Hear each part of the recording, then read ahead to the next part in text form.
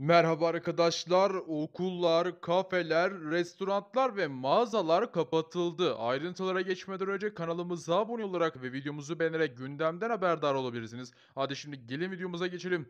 Kanada'da restoran, mağaza ve okullar kapatıldı. Son 84 yılın sıcaklık rekoru kırıldı. Kanada'nın batısını etkisi altına alan sıcak hava dalgası, ülkede son 84 yılın en sıcak yazının yaşanmasına sebep oldu. Eyaletlerde dün öğleden sonra kaydedilen 46 derece ülkede şimdiye kadar kaydedilen en yüksek sıcaklık olarak kayıtlara geçmiş ve sıcaklık sebebiyle eyaletlerde restoranlar, e, parakende, satış mağazaları ve bazı okullar kapatıldı. Bazı randevular ise ileri tarihe ertelenmeye başlandı. Kanada'da 46 derece görüldü ve Kanada tarihlerinde bir önceki rekor ise e, 1937 Temmuz'da yüksek sıcaklık görülmüştü ve 45 dereceydi. Şu anda ise 46 dereceye kadar çıktı bu sıcaklıklar.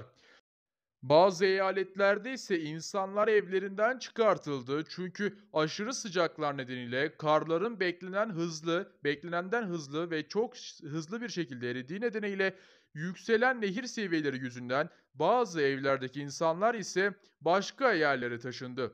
Kanada Çevre Bakanlığı'ndan meteorologların yaptığı açıklamada hava sıcaklığının bugünden itibaren daha da yükseleceğini ve bazı bölgede 50 santigrat derecenin bile kaydedilebileceğinin beklendiğini söyledi. Videomuzun sonuna geldik. Gündemden haberdar olmak için kanalımıza abone olmayı ve videomuzu beğenmeyi unutmayınız. Görüşmek üzere.